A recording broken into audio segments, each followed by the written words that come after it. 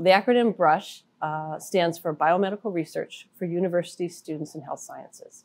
It's a summer research program for veterinary students as well as undergrads who are interested in exploring uh, research as a part of their career. BRUSH is, um, has the goal of increasing the number of students from populations underrepresented in the biomedical sciences who enter into research related careers. And so for that reason, we are recruiting veterinary students um, from underrepresented populations to participate in the BRUSH Summer Research Program. Participating in BRUSH helped a lot with time management, and that carried out a lot. Um, veterinary medicine is all about time management. That and it helped with like being able to talk in class and communicate with others and be comfortable around my peers. Um, veterinary medicine is predominantly white, so sometimes I could be uncomfortable especially my first year, but being around other people that look like me within the program, it, it helped me be more confident in my studies today. What Brush helped me was to um, basically apply my experience to my knowledge in school. And once I com- uh, once you have of those traits, it actually gave me an understanding of what I'm learning, but also um, on how I'm applying to my work.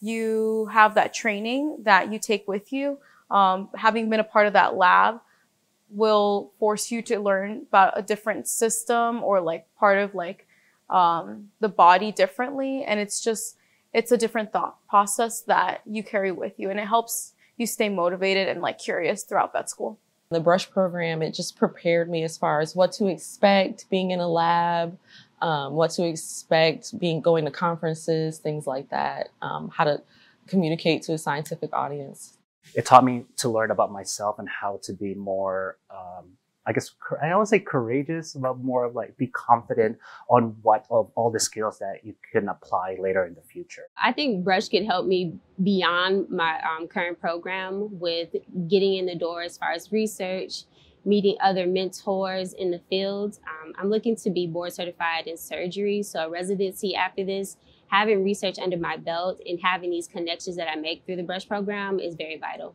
I am interested in getting a PhD eventually, so definitely the BRUSH program primed me for that as far as what to expect, how to look for mentors, how to look for a proper program.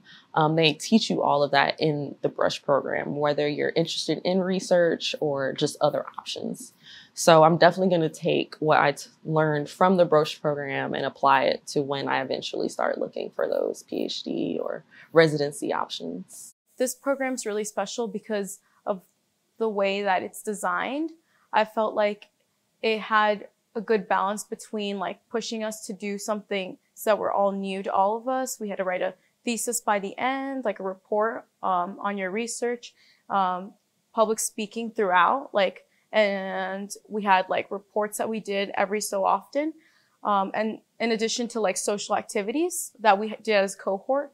So all those things, um, they were guided, but at the same time, um, it was pushing us to like learn more and do more. Um, and I think that it was all a very formative process. It was just a really fun program. I think probably just personally, I think it's the best part of MSU. the program as far as the curriculum, the DVM, everything was me just being in the brush program. Um, I made some really good friends.